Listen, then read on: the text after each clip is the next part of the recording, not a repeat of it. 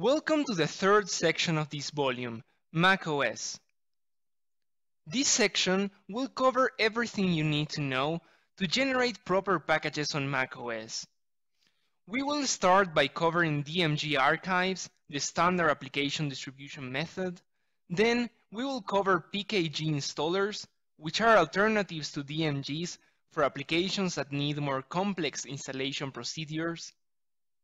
Afterwards, we will see how to get an Apple developer subscription to generate code signing certificates, and we will see how to make use of them on Electron Builder. Then, we will cover how to generate Mac App Store packages that you can then submit to Apple for review and inclusion on the store.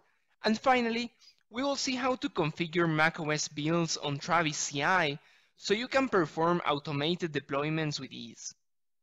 Welcome to the first video of section number 3, Building DMG Archives. In this video, we will see how to generate DMG archives for Electron applications, and how we can tweak some of the options Electron Builder provides us for this task. DMG archives are the standard way of distributing Mac applications. DMGs are compressed archives, somewhat like zip, that feature a very high compression ratio. In case you're not a Mac user, DMGs work as follows. The user downloads a DMG file from your website and double-clicks it. A small window like the one you see in this slide will pop up, which usually includes two items.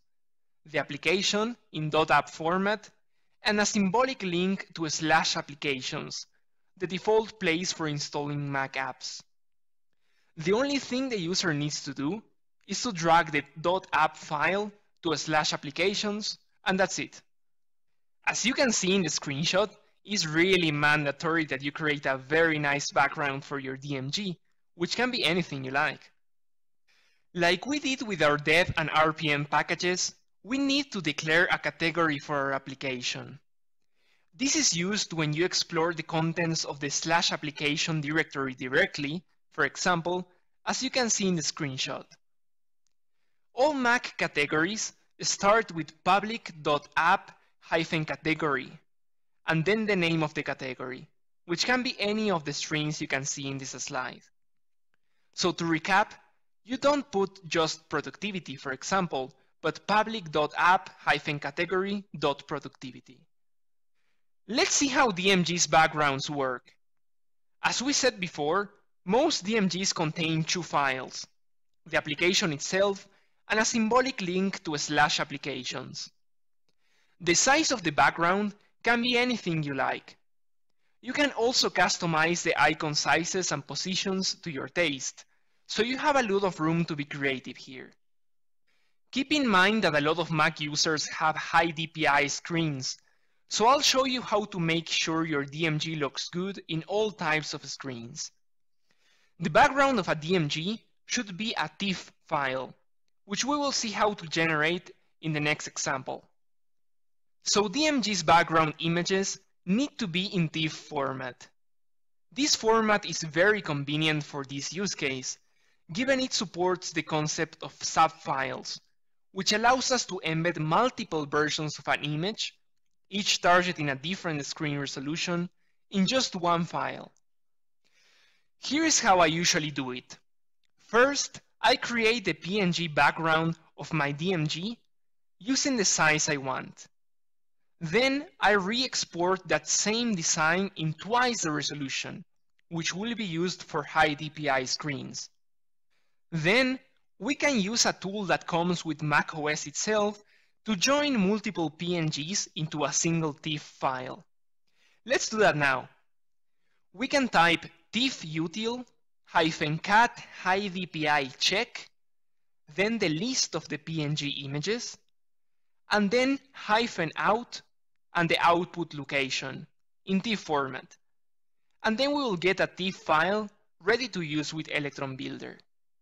Let's take a look at the Electron Builder options we can use to generate DMG archives. Here's my package.json file.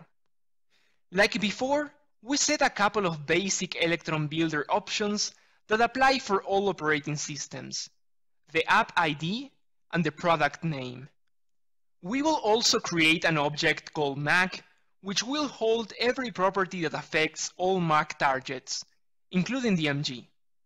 In this object, we will set the targets that we want to generate for this operating system, which for this video will be just DMG.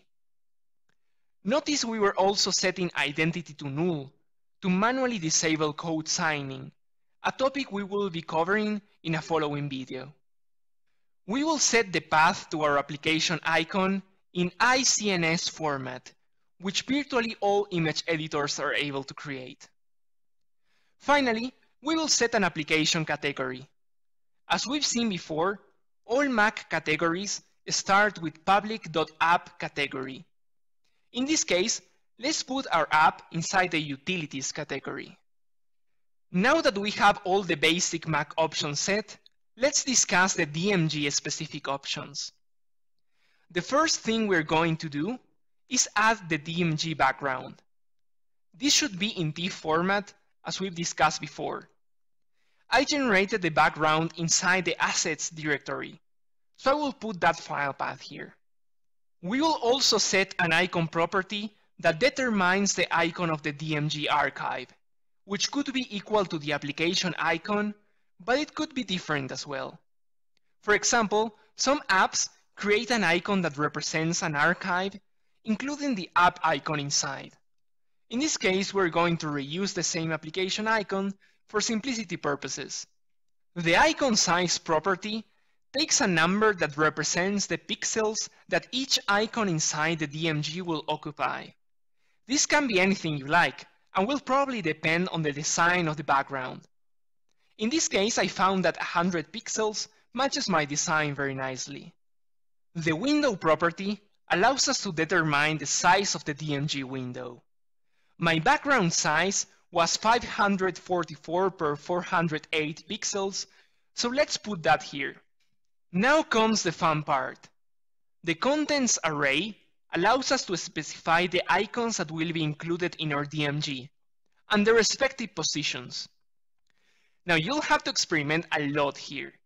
I've been playing around with the positions for quite some time until I got them right, so don't worry if you don't get it exactly as you want the first time around. This array accepts objects with X and Y properties, and some other optional ones. Now, if you pass an object with only X and Y properties, then that object determines the position of the application icon. Since virtually all DMGs contain a symbolic link to slash applications, we'll also pass another object, containing x and y properties, but this time we'll also set a type equal link property and a path property that points to slash applications. Again, I did a lot of experimentation to come up with these particular coordinates values. By now, we have everything we need to generate our DMG, so let's give it a go by running npm run dist.